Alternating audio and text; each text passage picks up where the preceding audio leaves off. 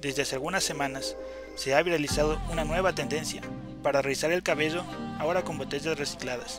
Fue en China que comenzó a surgir esta nueva moda que resulta ser muy práctica, ecológica y lo mejor, muy rápida. Con el nombre Blow the Barrel Challenge se contagió en Instagram el uso de esta tendencia, en la que las blogueras se sumaron a probarla, como la famosa estilista y maquilladora Olivia Smalley, quien alcanzó con una publicación más de 36.000 likes y 2.500 comentarios. La técnica es muy sencilla, requiere una botella plástica de agua vacía y un secador de pelo.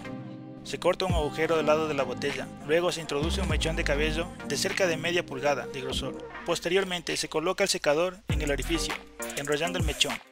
Es muy importante tener extremo cuidado para no quemarse, ya que el plástico puede calentarse demasiado y provocar serias quemaduras, por lo que es preferible usar guantes. Otra de las primeras blogueras de la moda en probar el estilo fue la estilista y maestra de Balash, con sede en Nueva York, Asif Sinse, Juda Katan, otra reconocida estrella Instagram radicada en Dubai, compartió en sus redes el resultado de su prueba y logró 591 mil likes hasta el momento.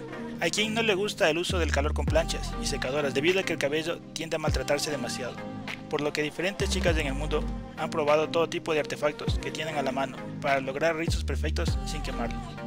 Lindo Ho HD